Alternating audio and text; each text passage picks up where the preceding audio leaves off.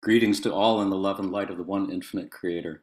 My name is Jonathan Tong, and I'm facilitator for the Seattle Law of One study group. We can be found on the list of study groups on the L/L Research webpage shown on your screen. We can also be found on Facebook. We do actually meet on Zoom on Tuesdays from 3.30 to 5 p.m. Pacific Standard Time. And we did also uh, join, uh, add most recently a Saturday session from 7.30 to 9 in the morning. Pacific Standard Time, uh, which is a more convenient time for folks who are living in European time zones. You don't have to live in Seattle or near Seattle to join our Facebook group or to join our Zoom sessions. Anyone who is interested and available is welcome to join. We do uh, also have a YouTube channel where you can find recordings of previous Q&A sessions. Um, all are welcome to uh, watch those and enjoy. And today we are blessed to be joined by uh, Gary Bean and Trisha Bean and Austin Bridges, joining us for some informal conversation and Q&A about the Law of One. Uh, all three are on the L/L research team that, uh, along with Jim McCarty, has been channeling the entity known as Q'uo roughly twice a month for the last 40 years or so. Welcome to all three of you. How are you doing today? Doing very well. Thank you, Jonathan. Uh, thanks so much for inviting us here again. It's always such an honor to be with you and your group.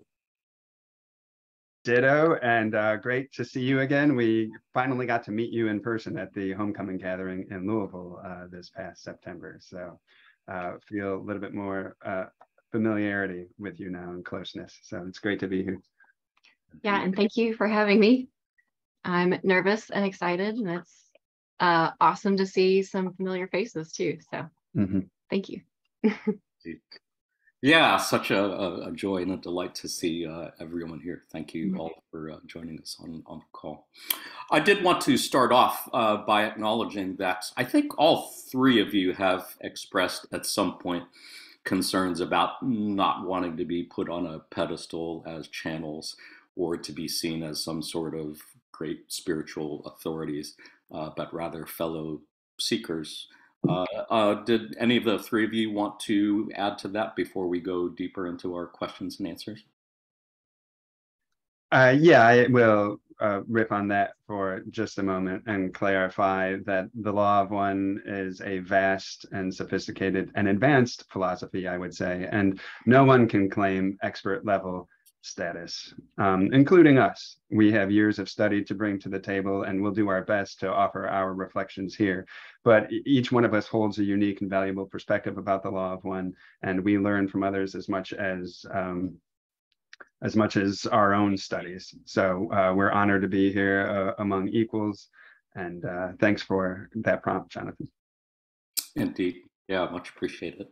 Uh, and with the three of you here, I think when we ask questions, um, I'll leave it up to the three of you to balance the time equally oh, yeah. and equitably and all that stuff. And if folks feel uh, compelled to share something, feel free to. And if you don't necessarily have anything to add, then that's fine too.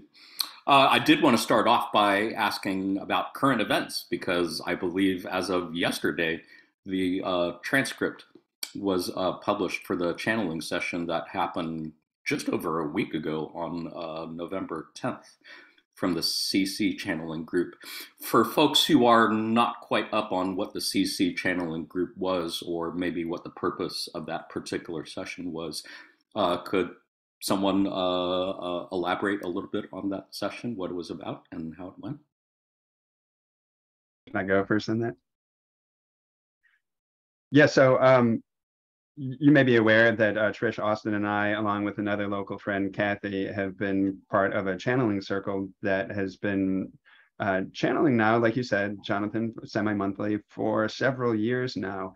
We've had one limitation with that channeling, and that's that um, we channel in reply to questions that are curated for their suitability for the contact.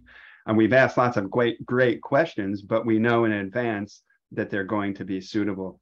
However, now we're at the precipice of the start of the public meditations, where um, you know people will gather in Jim's living room and um, ask questions that may not be suitable for the contact, including um, questions that may the Confederation can't slash won't answer because they may infringe on free will, um, or questions that take the instrument far outside their comfort zone in terms of being far beyond the knowledge base of the instrument, which is a limitation inherent in conscious channeling going all the way back to Carla's years as well. So what we did with this recent session was to simulate the public meditations by asking questions that would get us as instruments outside of our comfort zone. Fascinating. So that was the experiment that you were referring to in the transcript? Nice. So how did it uh, feel? Any of the three of you feel uh, uh, care to comment on how that experiment went for you? Go ahead, um, Trish yeah, I hadn't, uh, to be honest, I hadn't put too much thought into it prior to the session itself. And um, as it began, and I was like the final channel, uh, the final instrument, uh, it was very scary at first, a little bit uncomfortable because you know that these questions are purposefully curated to test you um, and challenge you. Uh, so there was some discomfort with that, and that's reflection of one's own insecurity, probably. Um, and then kind of feeling a little elated afterwards, knowing that we were able to uh, mm-hmm. speak to these questions to some extent, and um, yeah, kind of felt like finishing a 5K a little bit. Like that was really uncomfortable, but that was awesome. or feeling like having done a what did you say a fourth grade book report on yeah. read yet yes like that wearing your father's business suit at the same time or something right yeah it was great to see this instrument's humor come through too she is yeah Oh, I think we all enjoyed the humor that came through in that session. And I think some people were going to ask or uh, comment about it. Now that we know that uh, uh, Q'uo's recommended source for news is the Cartoon Network, as opposed to ESPN. It was nice. Enjoyed the humor there. Uh, Austin, would you care to comment on, I mean, how the session felt for you and uh, how the humorous aspects uh, felt to you?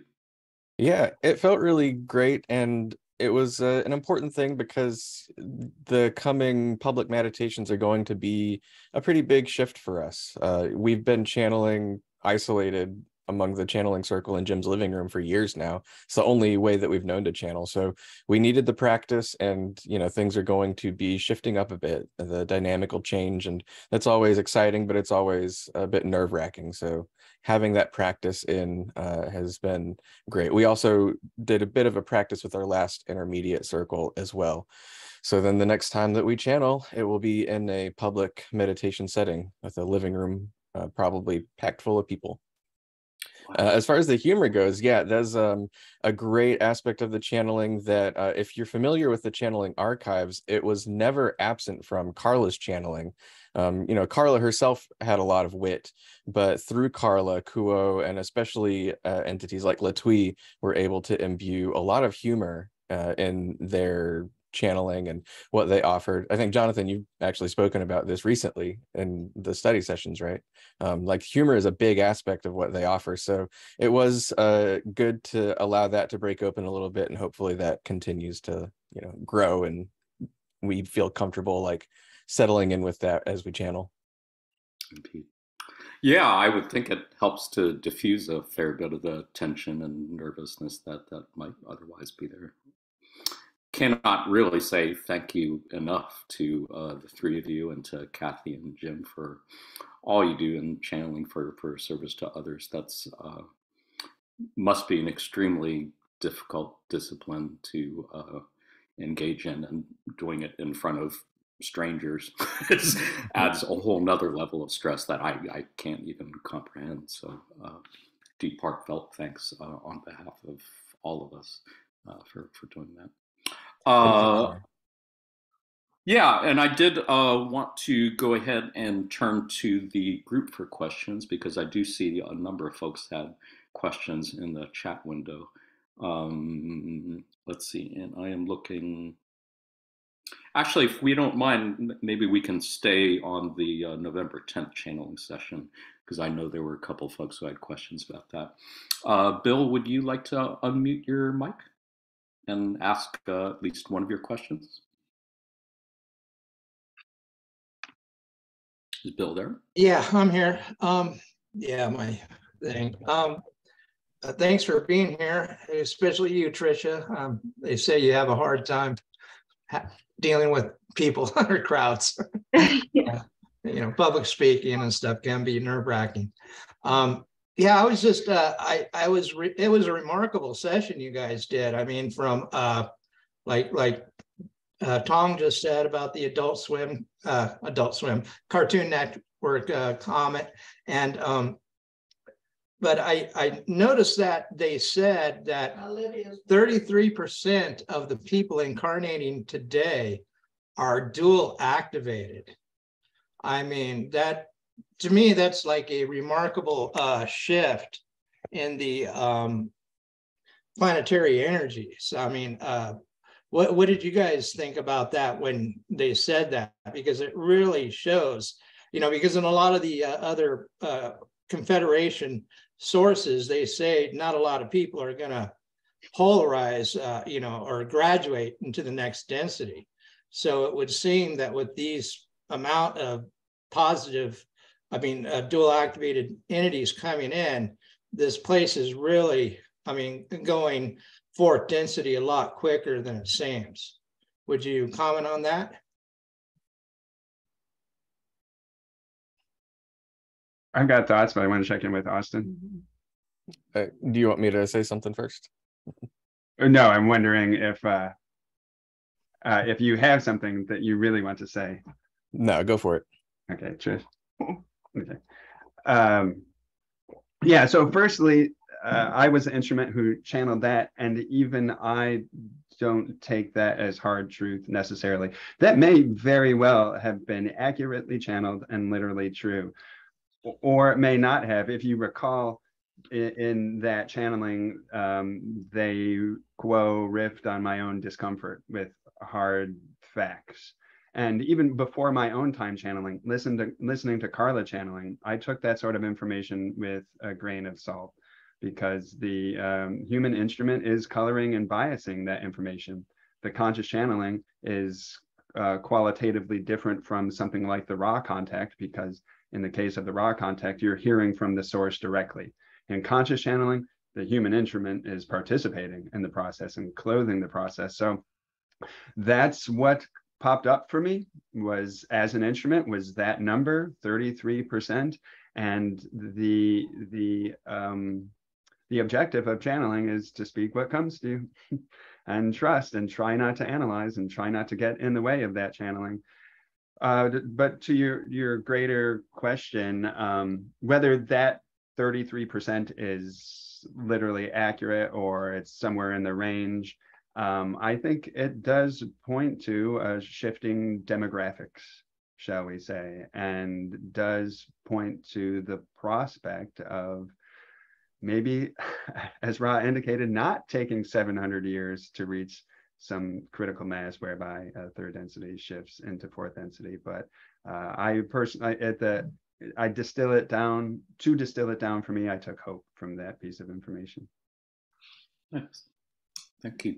Uh, Austin, Trish, did you have anything to add to that?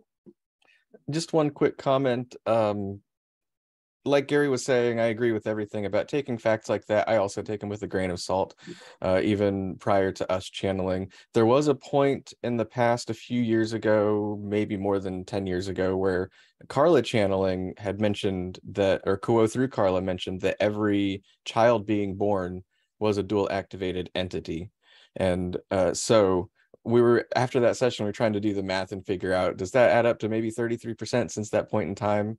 Um, but if it is true then yeah that primarily that 33% i think would be children and probably very young children as well. And um, i can believe that i think based on you know uh, the spirit that i see in younger generations today and um, the sort of evolutionary thinking and especially with like compassion and equality as a very central focus, I think um, it's believable to me. I think makes sense to me too. Yeah, appreciate that. Uh, Trish, did you have anything to add? Any thoughts to share on that? Yeah, I appreciate it. It, it reminds me, um, you know, there at some. Uh, would it be fair to say that part of the reason that you chose to ask that question as part of this experiment was that asking questions related to numbers like that is not really the kind of question that you would consider uh, a, a, worthy question to ask. It seems more transient, perhaps, or not really of spiritual significance. Would that be fair to say? Partly, yeah. So I was the one who asked that question. And for more context on this session, we did ask questions in this session that we typically wouldn't ask in a channeling session. So um, there were a few different angles to why I asked that question. One was that, you know, the idea of like asking about numbers and specific numbers is a bit transient. Um, Ra was pretty happy to give numbers like that uh, without remarking on whether they were important or not. But it's also, I knew that it would make Gary uncomfortable when he was channeling that. And so that mm. was part of why I asked. And also knowing that channeling specific numbers like that, like my experience of channeling is it's a lot easier to allow the concepts to flow through and be painted with this language that you get into when you're channeling. But when it comes to pulling specifics like numbers uh, that's something that is kind of outside the bounds of what we've experienced. And i know that it is possible through channeling but we haven't practiced that kind of thing before. And so that was another reason why i asked that because it's a like gary was saying it's not a conscious channeling isn't necessarily the best way to do something like that. And um you know we might get questions like that as we open it more up in the public meditations.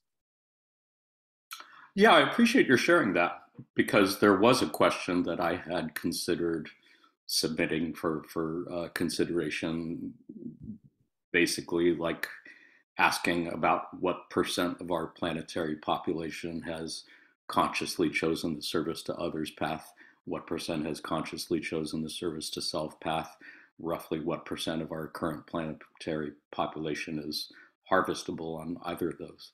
Um, but I'm gathering from what you're saying, that's not really a question that you would normally ask in such a session. I personally don't think it's harmful and it can be interesting. Um, so, but it's not something that I personally would typically focus on in a channeling session. So, yeah, it was unusual for me to ask that. Yes. Yeah, I think we uh, ask it. Big, I ask it only because I think it came up in one of our study group sessions one time where we are just trying to get an idea of how good does one have to be to be harvestable to the fourth density positive? How bad does one have to be to be harvestable in the negative path? Because I believe the examples that Ra gave in the original Ra contact were pretty extreme in both directions, either Catholic saints on the positive side or Nazi war criminals on the negative side. I'm just wondering, wow, that seems like a fairly high bar to reach. But uh, as you're saying, I think the numbers are perhaps not really the, the, the point of this. Uh, I appreciate your sharing. Uh, Trisha, if you don't mind, I, I, had a question on a different tack uh, that I was curious to hear your thoughts on. Uh, a while ago, at one of our earlier Q and A sessions, uh, Gary and Austin had both spoken about just what it feels like to make contact with Q'uo with a fourth, fifth, sixth density conglomeration of social memory complexes. And I would assume it's it's pretty different for each person. But I think they described it, both of them, I think described it as a very warm feeling, the mm-hmm. feeling of being in the presence of a friend or a family member and a feeling almost of, of being hugged by that entity when you're uh, channeling and you're making contact, does it feel similar to you or different? How how does making contact with Q'uo feel to you? Yeah, I would say um, the warmth, the sensation of feeling welcomed and held, uh, is something that I experience when I uh, make contact. I would also say it feels on a very um, sensory, sensual level, very high energy, high vibration, like actually feeling like on a body level an intense surge of energy, especially focused uh, in the head between the eyes. Hmm. But um, yeah, warm, comfortable, a little bit scary the first time because you don't really expect to feel this high energy, uh, welcoming, high energy and welcoming simultaneously. Um, but yes, it's um, it's a new kind of comfort, I suppose, one mm. that I hadn't experienced before attempting to channel, and uh, especially even between the different Confederation voices that we've channeled. Q'uo to me also feels like the biggest surge of energy when contact is established. Um, yeah, and there's also kind of different energetic vibes between the different voices too, in terms of um, how it feels like. Am I feeling a bit more of a creative uh, input? Am I feeling more of a humorous input? Am I feeling more logical? At least in my experience, that's. Oh, that's fascinating. Can you talk a little bit more about that? Is Latwii the humorous one? I I can't remember. It's been a while since we've channeled Hatonn or Latwii, but I do. I feel like Hatonn was one that felt the most accessible, at least. Like maybe Hatonn and I are uh, on a similar wavelength. we speak the same language. Um, yeah. yeah, it might. Maybe Latwii was humorous. Q'uo obviously feels the most poetic. I think. Um, That's so beautiful. I mean, that would make sense for Hatonn if Hatonn, if I remember right, is fourth density, density of love, and would seem perhaps the most close to our level, the most. Yeah. So when you describe the feeling of the energy, is it like any other high energy feeling that you can compare it to, or is it really of its own nature unique? I think it's unique but similar a similar experience would be um, like the rush one feels when they're either extremely nervous, and that could be just my nerves, or um, surprised or exhilarated is like the closest I've I could put it to. Um, and on a physical level, there's kind of like, at least for me, a, a palpitation of the heart, um, a sense of like maybe getting a little head dizzy at times. Yeah, but otherwise it's pretty unique. Yeah, I cannot imagine, which is why I'm asking. Does it feel more or less the same way each time? Does it become a familiar sensation so that in subsequent channeling sessions, it's like, oh, okay, I know this feeling, and it perhaps even you can recognize it as a solid contact because it has that same vibrational energetic fingerprint? Absolutely. I i would say for me it's a pretty i mean obviously whenever we tune we challenge whatever contact we get um and if i still feel that way after challenging i feel very extremely comfortable knowing that i've you know i have made contact with who it says I have established contact with. So yeah, to me, it's a guidepost. It's a, it's concrete. Yes, this I've gotten this feeling. I know this feeling. Therefore, I can be uh, absolutely sure to the extent that one can be sure. Yeah, well, that's beautiful. Thank you for uh, sharing. Mm-hmm. Uh, Gary Austin, did you have anything to add to that? I know we've spoken about it before, but do you have anything to add? Not for me. Good. Thank you. Hey, uh, I do see a lot of questions in the chat window, and I do want to make sure that we get to all of those questions. So uh, if you don't mind, I think I'll just go in the order that I am seeing them. Josh, uh, did you have a question? Would you like to unmute your mic and ask? Yes. Uh, hi, everyone. Uh, thanks. Thank you, Gary, Tricia, and Austin for uh, being here and your service of answering our questions and continuing to channel Q'uo. So thanks for that. My question is, I was wondering, of all the Confederation members that you've channeled, Um, other than Q'uo, who is your favorite and why?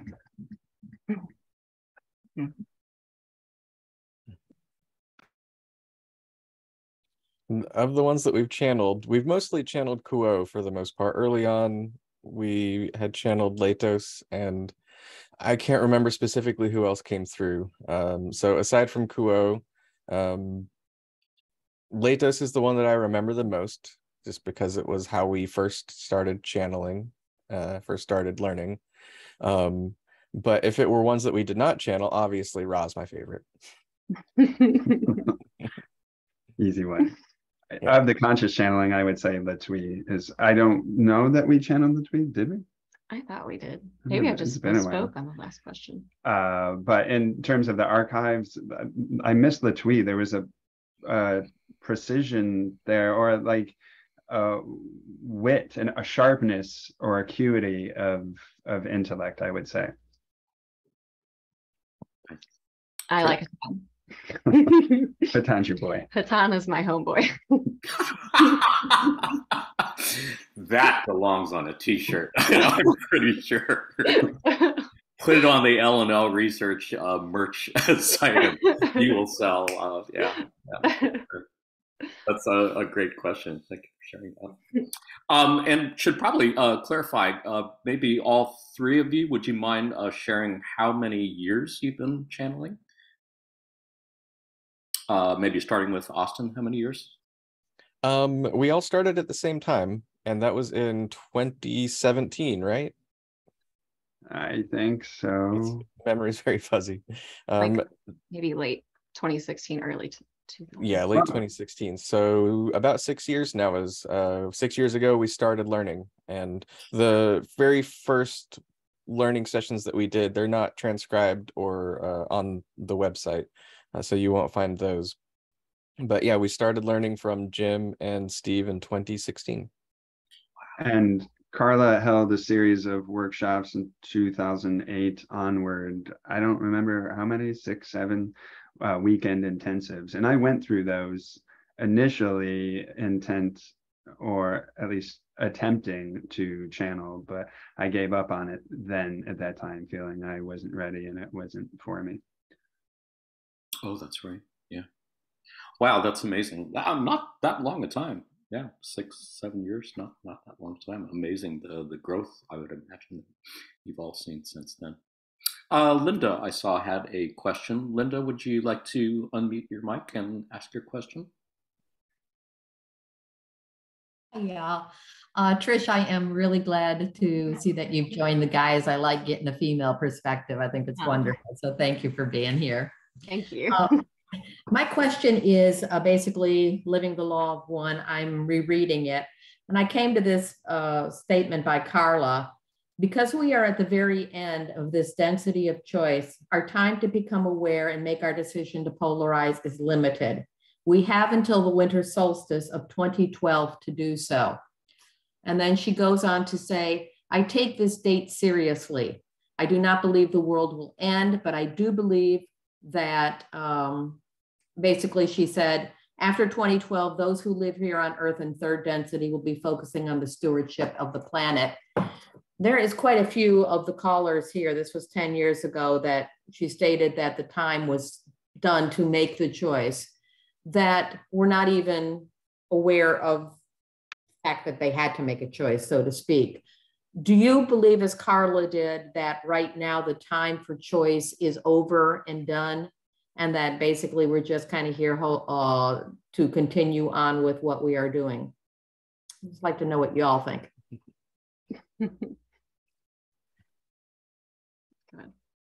emphatic disagreement there.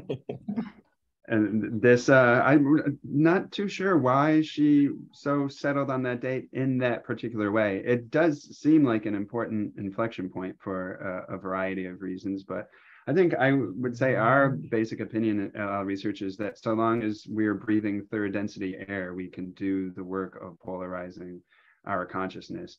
And um, regarding Carla's sort of forecast that the human population beyond that date would all be positively oriented and um, intent upon stewarding the planet. uh, I think any look at the daily news would quickly dispel uh, that notion because whether in our political, economic, or um, uh, other realms of human activity, that seems not to be the case among the you know the predominant cultures and predominant trends. It is definitely ongoing. It's just a bit under the radar, I would say, but um, yeah, even you know we're dealing with energies of autocracy being on the rise and ecological uh, degradation with the potential of collapse too. We're uh, still on a, a, a self-destructive trajectory, I, I would say.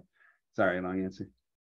Had took it to mean that not everybody would be positively polarized. I took it, her to mean that if you had not made the choice at that point to become positively polarized, that you were going to be stuck in whatever loop you were in until you finish this incarnation.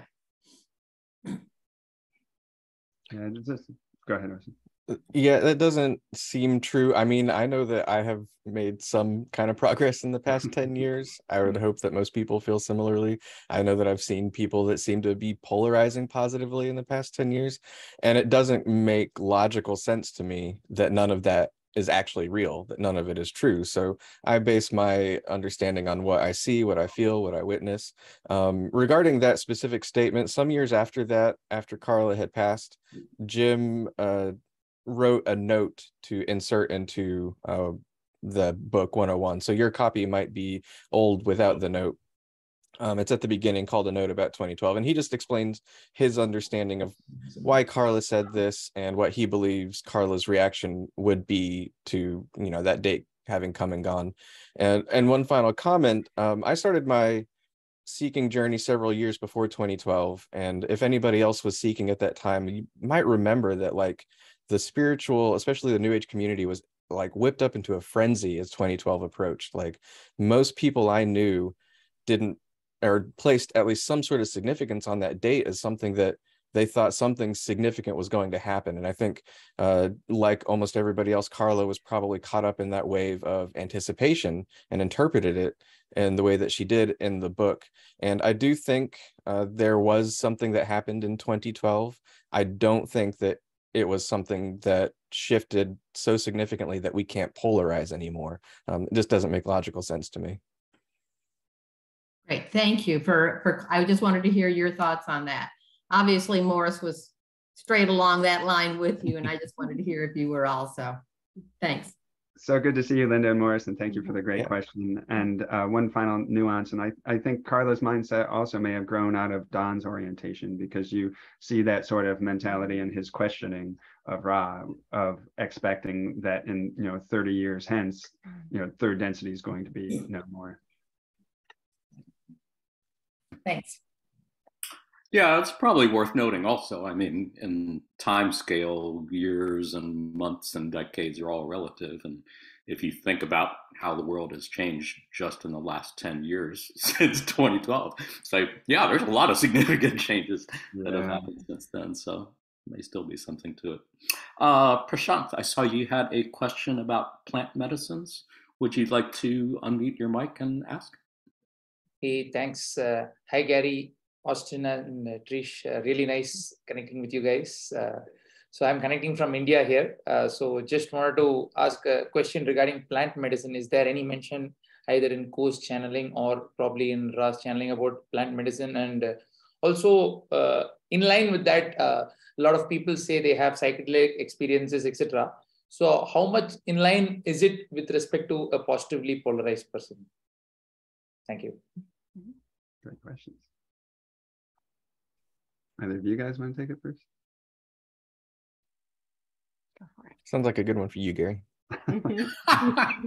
so uh, yeah, LSD is mentioned in the Law of One, and Ra says specifically that um, that particular chemical substance doesn't explain why, but can open the gateway to intelligent infinity, and you know that bears out in testimony and personal experience with others. And um, plant medicines were, I think, I am no expert on our vast archive of channelings, but I know questions about plant medicines have been asked. And um, my general takeaway from the Confederation is that yes, these can be powerful uh, technologies in consciousness that can help one, um, but that can help to facilitate uh, healing, self understanding, self acceptance, uh, reprogramming even of the consciousness. However, um, my general takeaway is that that that um, viewpoint comes with a caveat that because these are powerful, they can accelerate the evolution. And if the self isn't ready to integrate that increased light that these technologies have made available, then that light can be very destructive to the self. It can disarrange the self. It can disintegrate the self. Um, also, the Confederation counsels a generally uh, organic, shall I say, approach to spiritual evolution, whereby the self sources their journey from within and discovers re- resilience and self reliance and processing one's catalyst. Um, that said, I think that these are amazing technologies, and um, if used very carefully with you know right set and setting in a ritualistic ceremonial uh, sort of space, preferably even with a guide, depending on uh, what substances are used, that they can open doorways um, to healing. And I will end by saying Trish and I um, took all of our wedding money and used it to go to Peru. Uh, where we saw Machu Picchu and Cusco, of course, but we also spent a week in the Amazonian rainforest uh, outside of Iquitos in northern Peru, where we attended a shamanic retreat and underwent several ayahuasca ceremonies. And uh, it was done with integrity and um, with compassion and care and with expertise. I was really grateful for the experience. Uh, I am highlighting it because the ayahuasquero there emphasized that this is just the beginning. The insights that you're getting um, need to be processed and integrated over the long term in your journey once you go home. And after each ceremony, we the next the following day we would have a cleansing ritual and we would get together in a circle where everybody could speak to their experience and process it and share it as a group. So there was um, integration and and care and there was respect given to the substance uh, too. It, you know, it wasn't uh, a recreational vibe whatsoever. It wasn't a party atmosphere. It was for doing work in consciousness uh, specifically. But anyway, mm. uh, thanks for being here from India. That's amazing. Trisha, would you care to share anything from your ayahuasca experience? I would imagine there's a lot of folks who would be would love to hear your uh, thoughts on that. Yeah, um, I was um, unfortunately unable to uh, ingest the plant medicine. I had been in the hospital a couple weeks or a month prior, I think, um, and had to take medicine that would be contraindicated with uh, the plant medicine. But to speak to um, intention, I still attended all of these ceremonies and did not ingest the plant medicine and still had great, powerful lessons to learn and um, lots to integrate and process myself without taking a drink once. And um, so, yeah, I, think plant medicine is like amazing. I heard so many stories at this retreat about people healing relationships that they had with other people, healing relationships that they had with themselves, hmm. um, healing the way that they viewed the world. Um, and that's amazing. But it's also possible without the plant medicine too, in my instance. And she got to listen to a symphony of vomit. Yeah. Without the benefit of being on the plant. Yeah. An entirely different story to be shared. yeah. Prashant, did you have any follow up questions to that? That was a great question. Was there anything you wanted to follow up with? uh, this is not to the same question. So do we want to go ahead with other people's questions? And if we have time, we can maybe come back to my question or should I shoot it now? Would be glad to. Yeah, thank you. Uh, you might have to remind me in case I forget, because there's a lot of questions. Uh, Donna, I see you have a question. Would you like to unmute your mic and ask? Yes, thank you. Hi, uh, Austin, Gary, Trish. Hi, Donna. Um, some, hey, some of my questions kind of been answered, but I was wondering because you seem like over the last decade or so, or maybe when you guys started channeling, that um, is predominantly the principle of Q'uo that comes through. And I was wondering when you're challenging, is that the only one that comes through, or do the parts like Latwii and Hatonn, or even other Confederation sources come through? And or was that an agreement you worked out? And then the second part of my question is, do you ever plan on doing another channeling intensive and um, to train people for either with your circle or circles up elsewhere, or maybe doing something over Zoom? You know, have you ever tried that before? Um, very good question. And hi, Donna. It's good to see Hey, nice to see you. you. Um, in terms of the aspect of challenging and whether other sources come through, for the most part, up until we started doing these uh, C/C channeling circles, and we've only done three at this point, um, we've always been in a setting where Jim has been leading the channeling circle. And so he would be receiving the contact first. And that then in sort of means that whoever Jim receives is the contact for the circle. And so when we uh, make that contact and challenge, it's always been uh, whoever Jim has connected to, for the most part, Q'uo. And that uh, I think is also just built off of the fact that we're working with a lineage of expectation. You know, Carla developed this channeling practice. And if you go far back into the transcripts, she was getting all kinds of crazy contacts with like all sorts of different entities. But as time went on, more and more, she kind of settled on just a few different sources and primarily Q'uo by the end. And so I think that um, that's just kind of like what the crystallized channeling method of L/L research is primarily connecting with Q'uo. It could possibly change in the future, uh, especially with the uh, new C/C channeling circles. We're kind of like they're intended to break things up a little bit and see what else might be possible. And so there might be other types of contacts made besides Q'uo. But uh, for the most part, it's just Q'uo when we do the challenging, at least for me. Um, Q'uo is the one that is there as a unified entity, and that is who uh, is challenging and meeting the challenge. Um, and I'll let uh, Gary or Trish answer the other part of your question and anything they have to add to that. Uh, yeah, Donna, it's good to see you again. Donna is a volunteer transcriber that helps to get the channeling into text for L/L research. And like Jonathan, we got to meet her at homecoming um, a couple months ago. Yeah, and in terms of uh, channeling intensives in the future, nothing on the docket uh, now, but there is a general background intent to try to hold something again. But as with all things, there is the barrier of, or the obstacle of bandwidth and how little of it there is. But um, oh yeah, and you you asked about Zoom too, and um, we had explored that in the past, but felt that uh, um, in person is the more appropriate route for the time being. Well, and didn't that also have to do with how we uh, perform like the banishing ritual? Like we are creating an actual Yeah. in-person environment that we perform the banishing ritual within.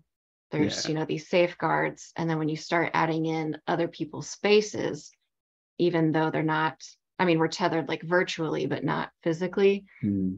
we don't know what that could bring. That makes sense. It's a great question. Uh, did you have any follow-ups on that, Donna? And no, I think that was it. Um, thanks, guys. It was nice seeing you again.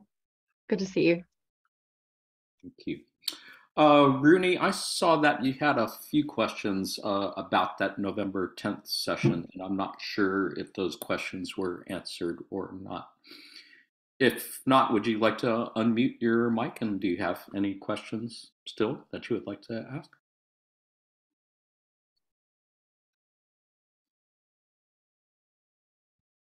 Uh, I see Rooney is here, but I see his mic is muted. Rooney, if you want to talk, you will need to unmute your mic. And I believe Rooney is calling us all the way from Copenhagen, Denmark, I believe. Uh, it doesn't seem to be happening, so I'm going to move on and let him join us later if he wishes. Uh, Shayla, did you have a question you would like to ask? Yes, thank you. Hi, everyone. It's lovely to see you and thank you for being here. Uh, so my question is about the connection. After you do the channeling, I mean, in the progress of channeling, your consciousness is expanded wider and it's, you know, together with everything uh, connected. When you close it and when you end it and you go and cook coffee, make dishes uh, and such, how do you shift from this state to the other? How long does it last? How do you anchor yourself again in those energies? Or do you go throughout the days with, you know, there is one part of me still there? And also, have you ever, or have you at the beginning maybe experienced this period of vertigos uh, and such because of the higher in streamings of energy? Thank you.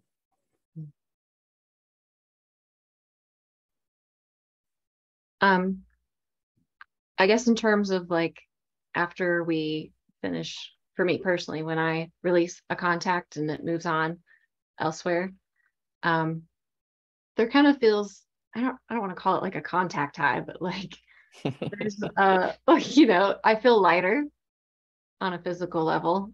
I do feel like my uh my faculties, my abilities have broadened. I feel more alert, more connected. Um and I I don't know if I'm projecting here, but it, it seems to be kind of uh, a heightening of the group energy too. I feel like after we complete a channeling circle that there's that seems to be not just me personally, but the group as a whole feels like it's operating in that way. Um, and we tend to do, except for the C/C circles, we're almost always in the evenings. So I think the circadian rhythm kind of cuts off that like that feeling of contact time for me at least like I go to sleep and I wake up and I, I feel like normal Trisha again. Mm. So thanks. You go ahead. uh, yeah, uh, Shayla, I hope you got some rest mm-hmm. um, of your recent outing. It's so good to see you. We got to meet Shayla in Prague. Okay, I won't divulge what your outing was. Um, Thank you. Yeah, that's an interesting question. Uh, for me, I have difficulty shifting my consciousness generally into altered states of awareness. I have a really hard shell that's really hardwired for daily pragmatic reality. And I've I've tried uh, acupuncture, like I mentioned, ayahuasca, holotropic breath work, meditation, breathing techniques, uh, pranayama, etc. And um, I'm I it's kind of been a source of frustration for me that I am this way, but I can only presume that it's not by accident, nor am I broken. Uh, however, I I designed my personality to serve in a specific way, and I can see how it is of benefit to L/L research specifically. You know, my main calling in life, uh, because I have to handle a lot of pragmatic uh, practical information. And if I was shifting into mystical states pretty often, I think I would have uh, great difficulty doing what I do. Um, so that said, in channeling, I'm not shifting into a profound state of altered awareness. I am getting sensations. Uh, at times, particularly, I, I, get really deep, and I've described it before, where I feel like I'm elongating. Um, it's really hard to describe in spatial terms because it doesn't feel like a spatial phenomena but somehow I feel, you know, I can feel my physical body is it's six feet or uh, two meters of dimension, but um, this energetically I'm expanding and it's so weird. Otherwise, um, given how subtle my experience is and how hardwired I am into ordinary reality and cognition, um, I just, uh, after the channeling, might feel a little invigorated or excited having done performed as an instrument, having participated with my loved ones, uh, you know, Trish, Austin, Kathy, and Jim, and be excited in that regard. But otherwise, it's it's a subtle um, the experience of channeling, and I shift right back into normal reality. How about you, Austin?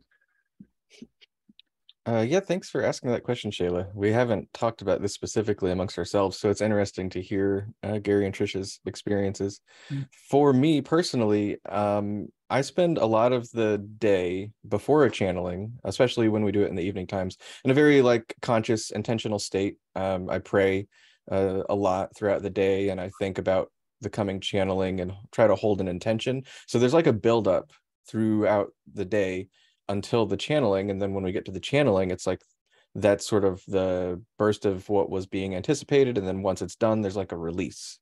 And uh, for me it is a very kind of relaxing feeling like um, it's done uh, the energy is now able to be dissipated and kind of go back uh, out into the world uh, this energy that i had been cultivating up to that point and so um, it is a very pleasant feeling for me and i also get similar sensations as gary was describing during the channeling um, i think that i'm typically able to enter into that kind of altered state more easily than he is but i do have uh elongated feeling of elongation but like sort of spatial distortion in general. It's very hard to describe but your eyes are closed you're not seeing anything but then i feel like things are shifting around me like my space is getting bigger and smaller i'm getting longer and stuff like that. It's very strange to describe.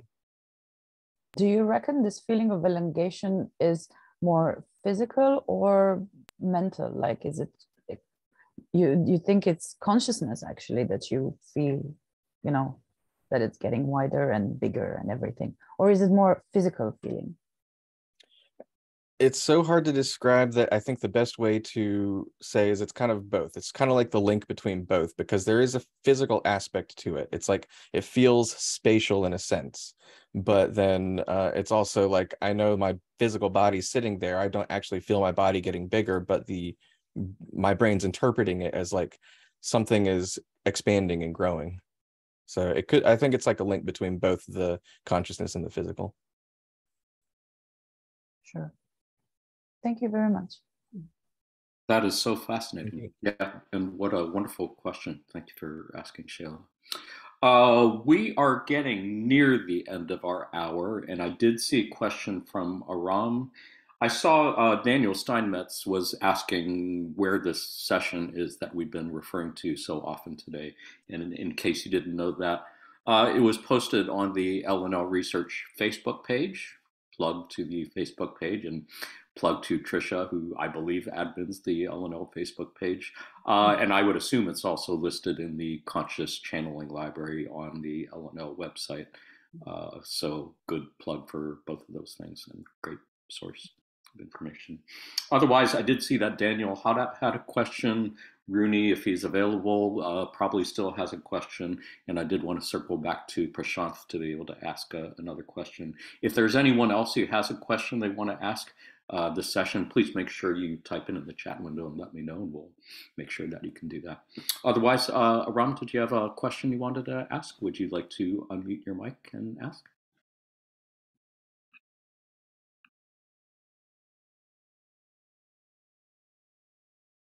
Let's see, Aram, I believe your mic is muted. You'll have to unmute your mic. Uh, looks like your mic is still muted in the lower left-hand corner of your Zoom window. Uh, let's see. Aram, looks like we're not connecting for some reason. Let me circle back to you afterwards in a minute. Uh, Daniel, are you still there? Did you have a question you would like to ask? Yes. No, I... Hi.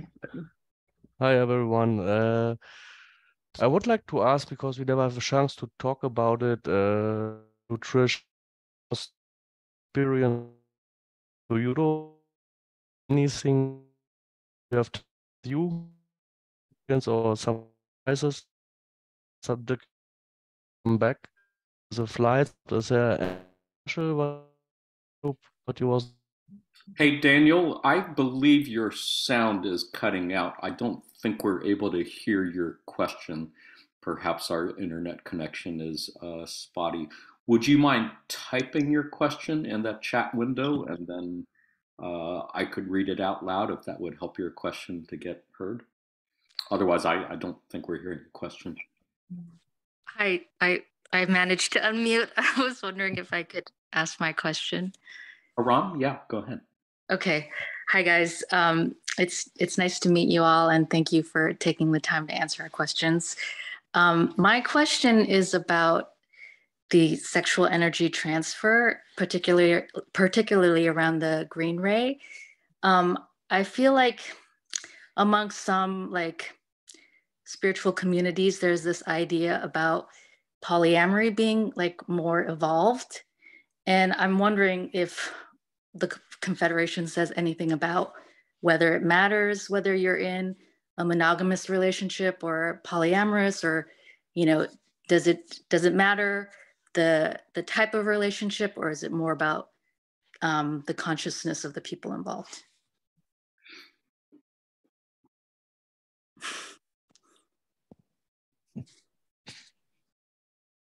Great question and big challenging um, topic and as you highlight topical too uh, and relevant because it is a modality that i think um, among the maybe the new age community is being explored more often particularly in the form of polyamory. Um, my general sense is that any two entities, whatever their gender, however they identify, whatever their particular mode of relationship, um, so long as their hearts are open to that vibration of love, they, um, through intercourse, and which may not even be physical, but through that depth of intimacy, can exchange energies between them.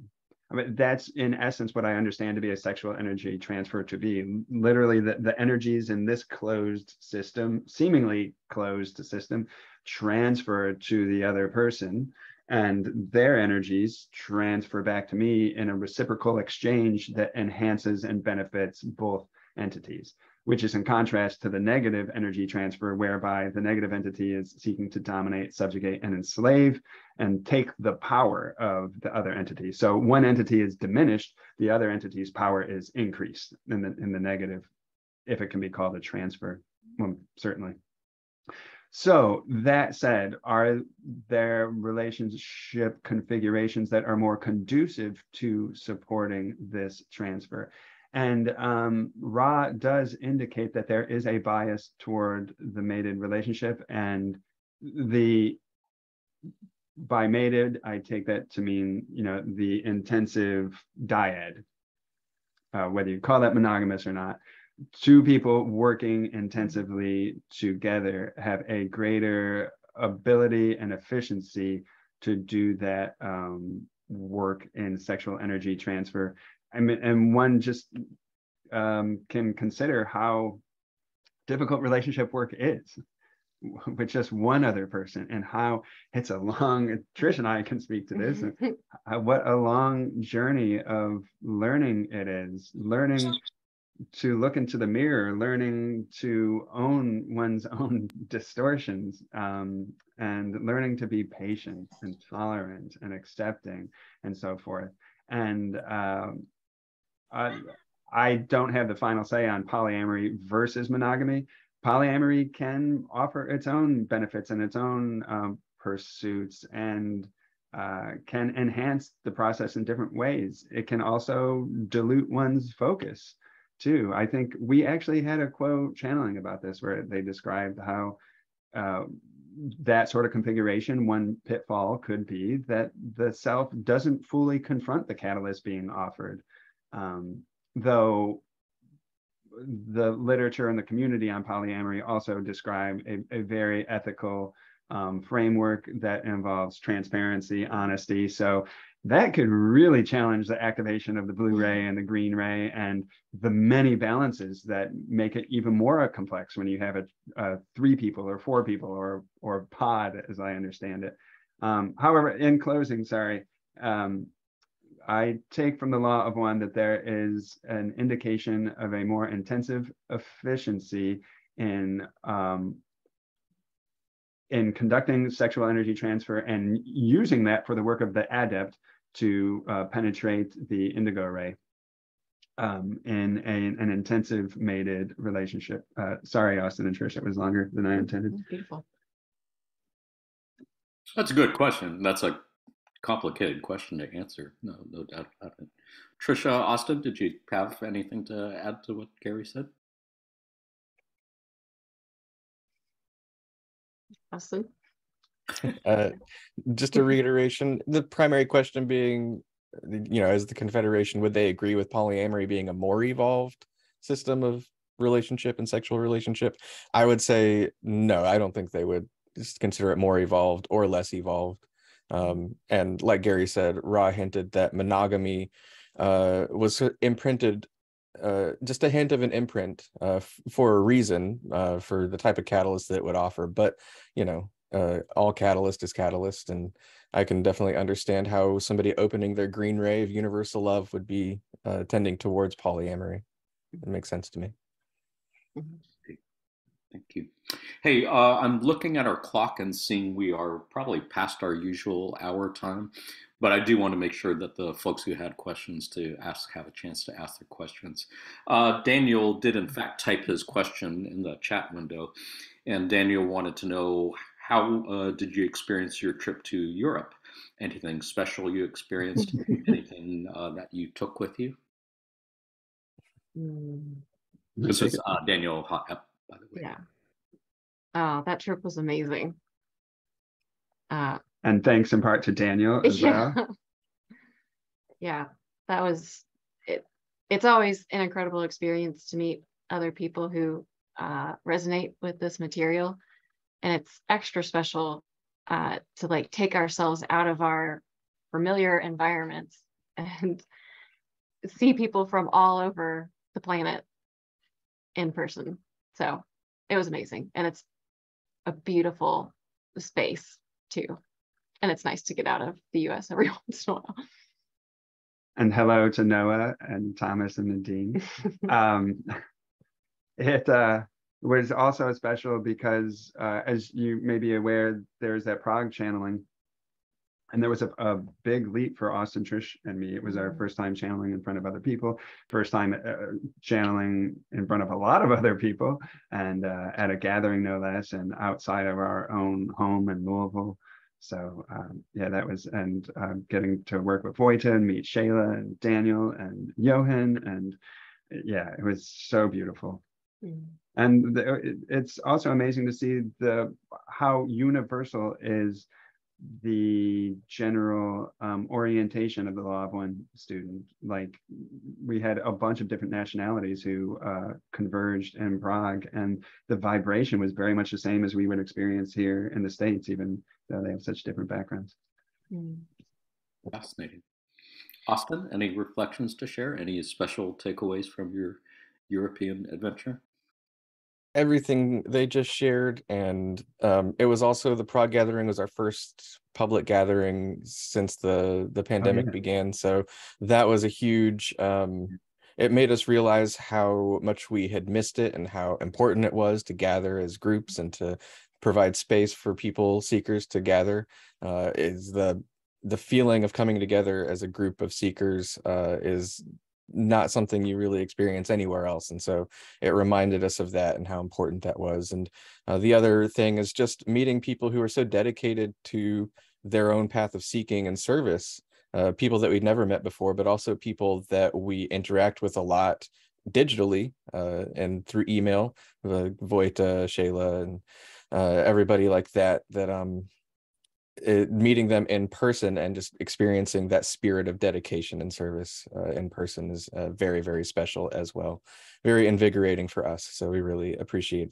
that kind of opportunity and it's just an honor to be able to do something like that What a joy. Thank you for sharing that, and uh, thank you for the question. Uh, Rooney let me know that he is actually on a train as we speak, so is not actually able to ask his question on mic.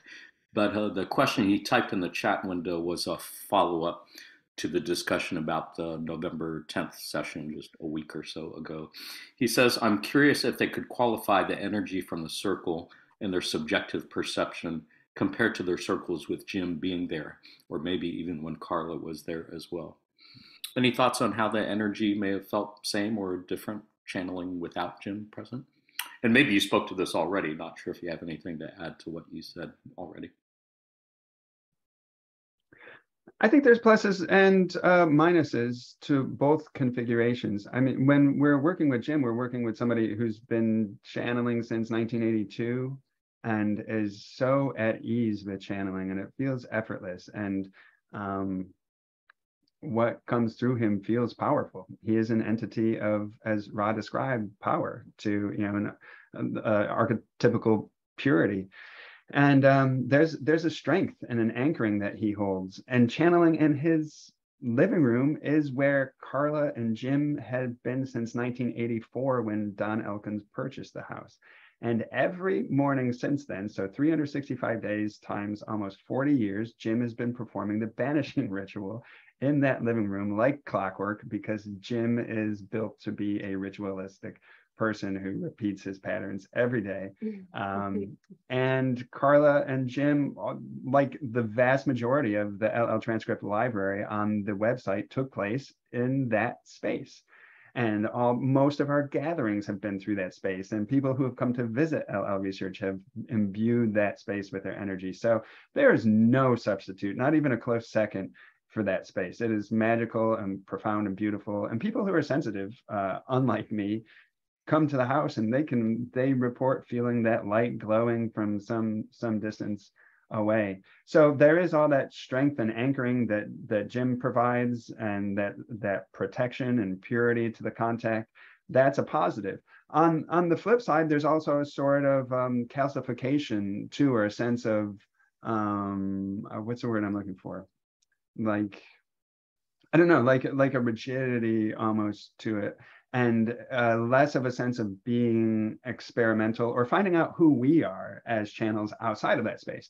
So that's what the C/C circle offers us. It's a, a chance to um, create our, our own protected and purified space, spread our own wings a little bit, and see as um, a younger generation what we might do with channeling in honor of the lineage and tradition built by Carla uh, um, Don and Jim. However, uh, the downside of that is the converse side of, or the positive side of channeling with Jim. You know, we, we're not channeling with Jim. Um, it's just us three. We're presumably generating less power than we would be uh, with Jim. So, um, did it feel different in that respect? Did it feel like there was less energy or just different energy? Not less quantity. Uh, I would say there's there's subtle differences. Um, Jim, despite his power, uh, his being a being of power, he's also in his mid 70s too, and uh, fatigue visits him in uh, these sessions, which is not uncommon because uh, listening to a channel speak in a slow monotone way is sleep inducing. I've had I've struggled myself too, but I don't know. Austin and Trish, what would you guys say? I'm interested in hearing Austin's take because I mean, when we're with Jim, Jim receives the contact, but when we're in our C/C circle, you receive the contact, Austin. So I don't know if that makes a difference. Um, yeah, I would say in terms of quality and quantity of energy and the, just the quality of the contact, I honestly don't feel much of a difference between the two spaces and the two different circles. There's a certain like invigoration of the experiment that's happening, but um, when we connect with Q'uo and we're in the channeling circle, it feels pretty much the same to me. Uh, and it feels it feels good. Uh, so, and just want to reiterate something Gary said that like uh, Jim channeling with Jim in the intermediate circles and the public meditations, that's always going to be the primary channeling for us. That's always like the what our main channeling is. The the C/C circles that we're doing separate from that are secondary to that main aspect of channeling. Extracurricular. Yeah, they're extracurricular. But it's nice that you're thinking ahead to the future and thinking in a broader scope of time and allowing for this to, to be able to continue. And I think that's just a beautiful thing. Uh, for those of us who don't know, uh, C/C stands for what? Uh, C/C is the, the first letter of our two home neighborhoods where Austin lives and where we live. We struggle with, we had a, a, a bunch of cool names. It's just that there is no precedent in the L/L library for uh, naming the group. I can't remember. We had some funny ones too, but um, yeah, like if you look back to the archives, it's all like Sunday meditation, Saturday meditation. Um, so we had to kind of come up with something a little bit more anodyne. Nice. yeah. Would love to hear the names that you came up with. I'm sure they would be uh, entertaining for sure. Uh, but we could save that for another session.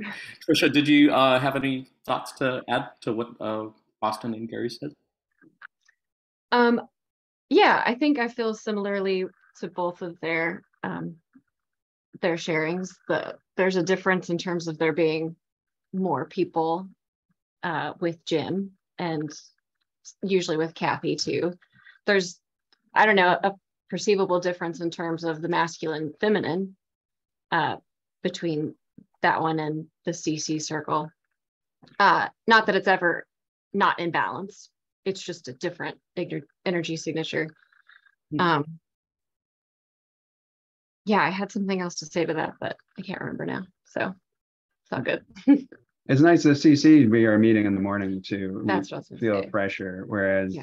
at Jim's it's the evening because of uh, Kathy's work schedule.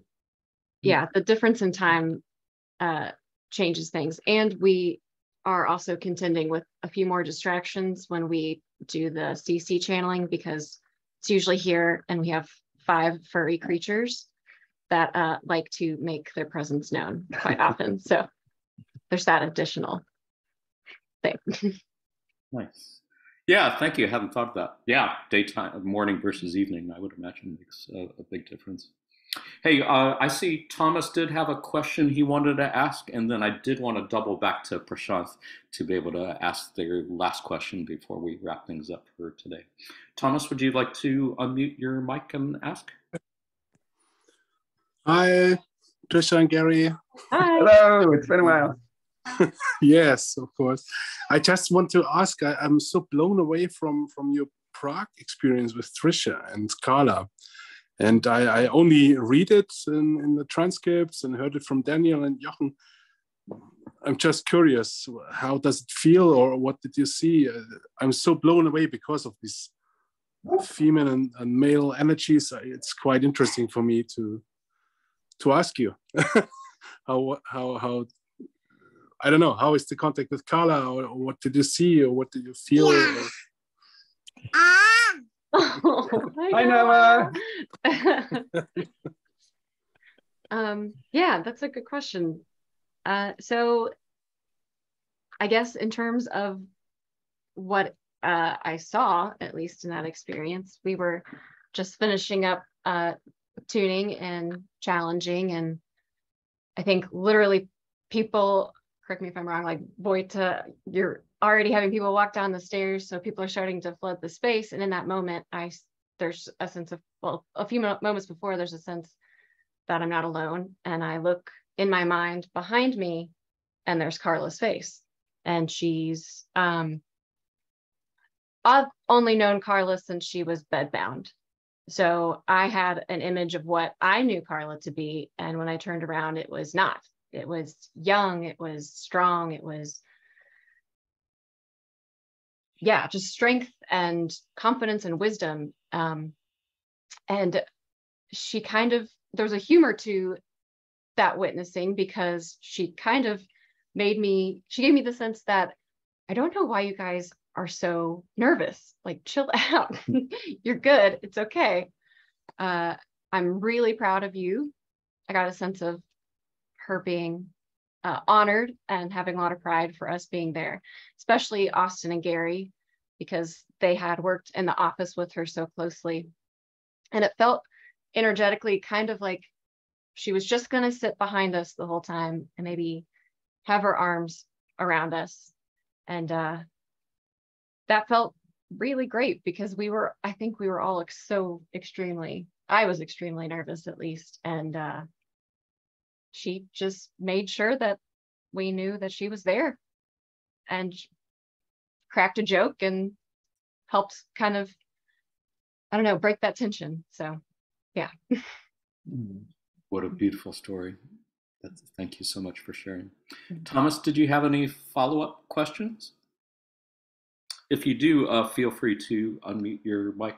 Otherwise, yeah, what a beautiful uh, story. And it's, it's it's just one one sentence. I'm I'm for me it's a big topic because I, I just read yesterday. I think from you or some from the Seattle group that this uh, the female energy it's a big problem for for planet Earth and I often forget about it. Yeah, you, you do your stuff and do your business and earn money and then you meditate, but it's so deep that there's nothing, nothing from the most people on earth. And so I was, I don't know if it's right to say that like this, but I was blown away because for me it makes total sense that Carla says, "Hey, hello, and it's good, and come on."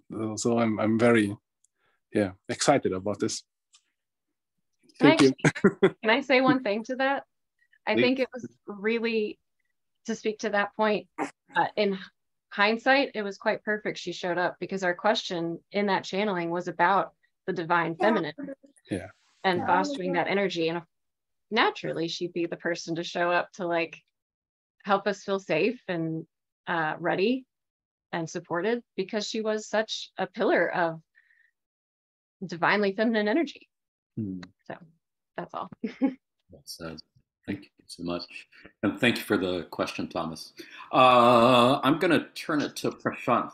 Thank you so much for uh, being thoughtful of others and letting others ask their questions before you asked a second question. But I do want to make sure you have a chance to do that. Prashant, would you like to uh, ask your second question? Thanks, guys. Uh, so I want to make it quick. Uh, so the question what I had was uh, in relevance to the evolution from the third to the fourth density, where we talk about we'll be moving from the chemical bodies to light bodies, right? So uh, what would happen to other densities such as plants and animals which are there? So the reason why I ask this is because there is so much of stuff where we talk about healing in terms of Mother Earth, right? And uh, but if you look at planets like Venus, etc., so it doesn't support other densities apart from they apparently say third density is not supported, which means I assume second or probably the first density is also non-existent there. So do you think we are going through a similar fate with respect to Earth, where uh, we might not have uh, plants and animals maybe a few uh, thousands of years down the line? Uh, just sort of this is not straight from plucked out of uh, any text, but just out of curiosity, just a line of thought. Thank you. Austin, would you like to speak to that first? Yeah, very interesting question. I think just my personal theory based on everything that Ra's said, everything's Q'uo said, um, I do think Ra indicated that second density and first density would still be active on Earth as we were in fourth density. So as fourth density beings, we will still be inhabiting an Earth that looks very much like the Earth that we inhabit now with plants and animals. And Q'uo has expanded on that further in that we, as fourth density beings, as a fourth density population, will have a relationship with the plants and animals. And that relationship will involve a lot of restitution and healing uh, that uh, has been made necessary because of how we've treated that aspect of our planet in third density. So uh, at least in fourth density, I do believe that those aspects of our planet are still active and uh, will still be um, on a planet like that. But as we go up in densities and maybe as the biosphere of Earth becomes less viable for any kind of reason, um, maybe the experience of higher densities does not involve that kind of interaction, at least on Earth. But um, it's a good question, fun to think about. I don't know uh, if there are any clear answers in the material about that. Gary, Trish, anything to add? Uh, I don't. Am I using the bathroom? No. Um, I just heard our toilet run, and the only other person capable of that is our dog, which would be quite a surprise. Uh, and which would speak. Speaking of second density entities. Uh, yeah. Evolution of second density. Yeah. Also, um, fascinating question to consider. I'm not sure if Austin said it or not, but um, Ra does indicate that third density will cycle again on this planet as well. So there will be first, second, third, and fourth uh, if I understand correctly, coexisting. How fourth density interacts with first and second, much less third, if they do interact at all. Once there's a third density population on this planet again, I'm not sure, but yeah, I think that's the only piece I would add.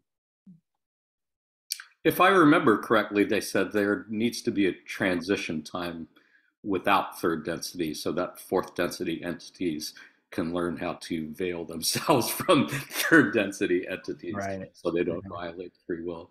Does uh, am I remembering that correctly? Mm-hmm. Yes. Trisha, anything to add? No, I so. Well, I want to thank all three of you uh, for being here, for volunteering uh, your time so so generously. Wanted to thank everyone who's joining us on this call. Uh, uh, Austin, Gary, Trish, were there any last thoughts, reflections you wanted to share before we wrap up for today? Just a quick note of gratitude and love. Thank you so much for holding this space, and thanks everybody for being here and holding space too.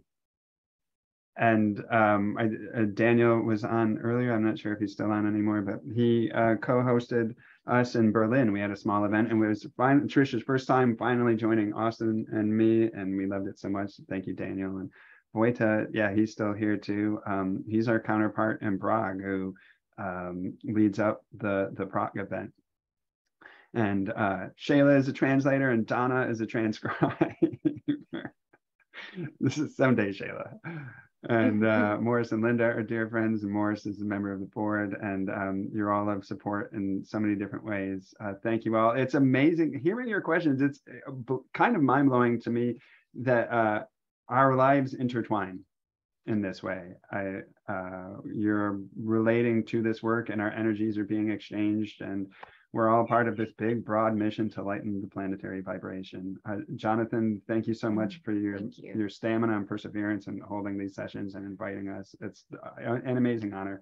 Uh, speaking of Shayla's question of shifting after channeling, I think I'm going to be high after this session for a bit. But what do you, Trish? Uh, yeah, thank you everyone for being here. Thank you, Jonathan, for hosting this. And I was incredibly nervous and I'm still a little bit nervous, but I'm so thankful the the group energy has been very warm and welcoming. And thank you for facilitating this, Jonathan. Yeah.